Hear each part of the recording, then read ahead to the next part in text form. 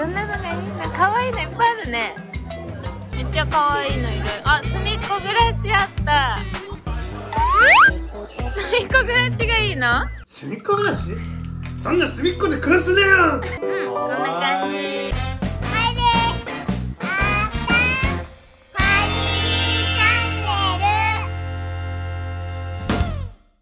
あったん今日は入学準備のお買い物をしていきます筆箱とかあと鉛筆とか定規とかいろいろ小学校で使うものを好きなのを買っていきましょう、はーい。筆箱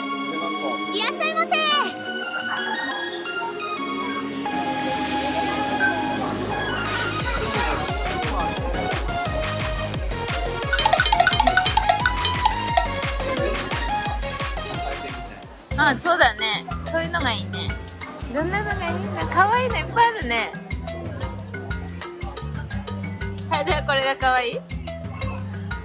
楓はそれをユニコーンとかこれお洋服とかほらお化粧とか。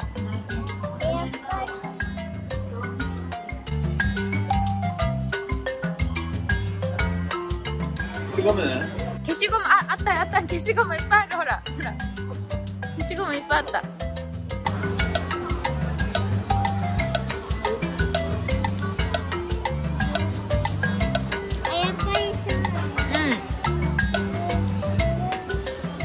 何ののりにする？でも可愛いのいっぱいあるね。ママ的にはこれが可愛いかなこれ。それがいいかも。はいおかわいい下敷きいっぱいかわいいのある。めっちゃかわいいのいる。あすみっこ暮らしあった。あじゃあそれがいいね。おすみっこすみっこ暮らしのあった。ほら。これ変えてこれ。あったもこれ。はい。よく見とかすみっこ暮らしの消しゴムもあったね。ペン変えたら。ほらあったこれにする？うん。あじゃあ定規もすみっこ暮らしにしちゃう？定規も。これあったん水筒どれにする？すみっこ暮らしがいいの？大丈夫？これでも楓のと一緒でそんなには入らないけど。は楓ほら。い楓も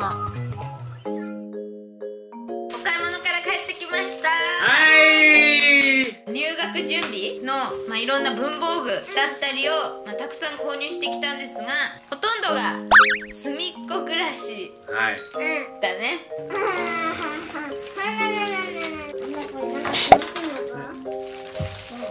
うちは隅っこ暮らしの動画はやらないんじゃないかなって思ってたんだけどやっぱそう。この年代になるとこうなるんだね。隅っこ暮らし？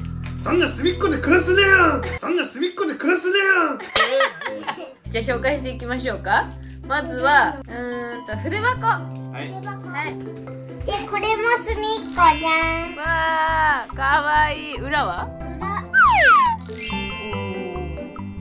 三人タピオタピオカもいた？あったん知ってるのいっぱいいる？これなんだっけ？雑草。ここにほこり。あママ知ってるよこれうんととんかつの端。とんかつとんかつの端っこでこの子がエビフライの尻尾。ママあんなに興味なかったのにすぐ知ってんじゃんねはいこんな感じね。ここにじゃあこのね買ってきた定規定規を入れましょう。はい。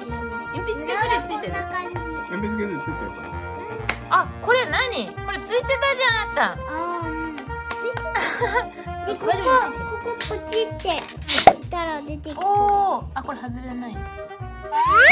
あここで滑走してんだ。へえー、すごいすごい。こうやった時に鉛筆の全部ダダバババババなんて落ちちゃうよね猫暮らしの消しゴムもはい入れてくださいまあ入らない入んない入んないぞその間になんかここにうん置いとこ置いとこいそこに置いとこうね隅っこ暮らしのキャップも買ったんだけどこれいらないねこれついてるから。まあ後ろの赤鉛筆。うん、赤鉛筆とか入れるのに色鉛筆使うこれはちゃんと入ってるよ。おい楓はちゃんと入った？でこれが下敷きはいあったんが選んだ下敷き。なんかすごいキラキラ。うんキラキラしてる。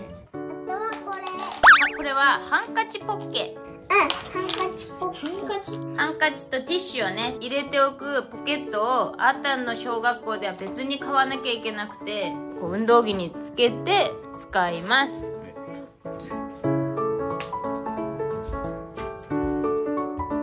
ほい。じゃーん。うんこん。な感じかわいい中開けてみるね。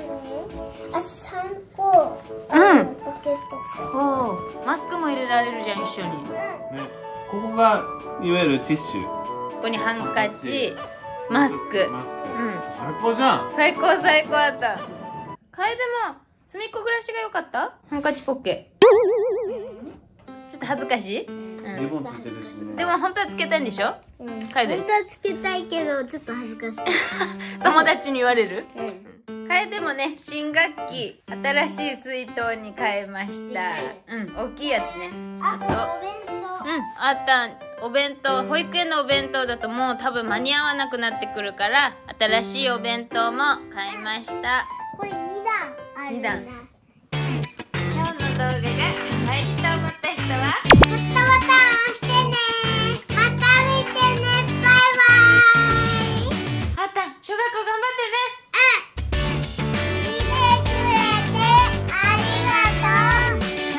登録もよろしくね。